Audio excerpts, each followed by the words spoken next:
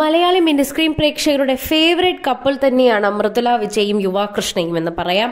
നിരവധി സീരിയലുകളിലൂടെ നല്ല നല്ല കഥാപാത്രങ്ങളിലൂടെ തികച്ചും നല്ല ശാലീന സുന്ദരിയായി തന്നെയാണ് മൃദുല മലയാളി മിനിസ്ക്രീൻ പ്രേക്ഷകർക്ക് സുപരിചിതയായത്. അതിനുശേഷം ആഘോഷിച്ച ഒരു വിവാഹം തന്നെയായിരുന്നു യുവയുടെയും മൃദുലയുടെയും. സ്റ്റാർ മാജിക്കിലൂടെ ഇരുവരും വന്ന് തന്നെ രണ്ട് ഫേവറേറ്റ് കപ്പിൾസായി മാറുകയും ചെയ്തിരുന്നു. അതുകൊണ്ട് തന്നെ ഇരുവർക്കുമുള്ള പ്രേക്ഷക സ്വീകാര്യത ചെറുതൊന്നുമല്ല.